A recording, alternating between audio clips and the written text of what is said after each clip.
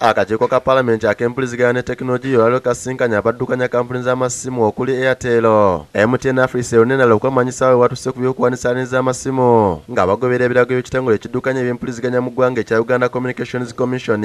Mu lukiiko olukubiriziddwa omubaka wa tolo north anet nyakekyo akulira mtn uganda wim van herepta yasanguza nti bakasitoma baabwe emitwalo musanvu bolekedde okusalwako okutandikira ennaku z'omwezi abiri mukaaga omwezi guno. Olw'obutawandisa layini zaabwe ez'amasimu Now, our systems take time because uh, we have to switch off uh, 700, 800,000 customers. That cannot be done in a, in a few seconds. That takes hours and hours before all those commands that have to run on our systems can be fully executed.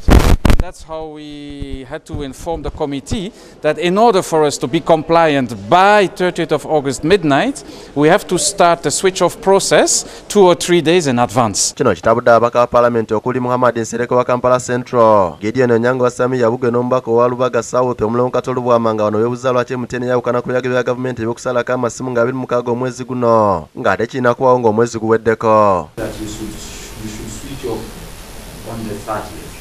It is very clear to tell you that you can even start switching off from the 26th. Yeah, no, no, that's, they, don't, they don't go to that level of detail. mtn tegeeza ne- neyeepampalika okuggyako abantu essimu zaabwe ng'ennaku z'omwezi asatu tezinaba nakudda infact n'ennaku z'omwezi asatu tusaba gavumenti eyongezeeyo.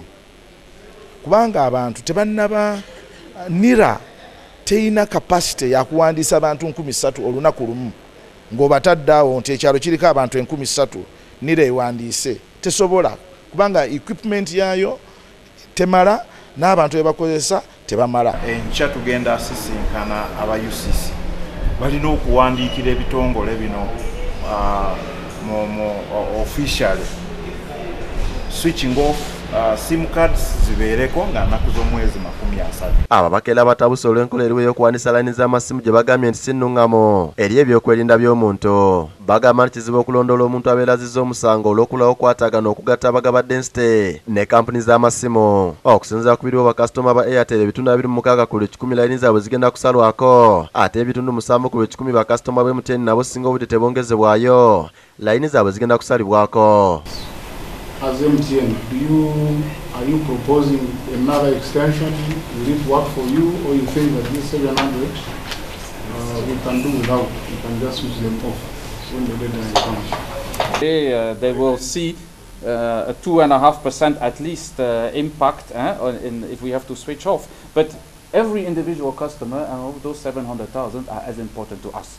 kampuni ya mtn yolekedde okufiirizibwa obuwumbi 1 eza uganda singa layini zino zinaggyibwako Sure, the, the business will be affected. There's a few percentages of revenue that will be lost because of those subscribers no longer being able to make calls and receive calls and use data on our network. rachel nakasi yakusakidde eggulye lino ku lwabukedde tv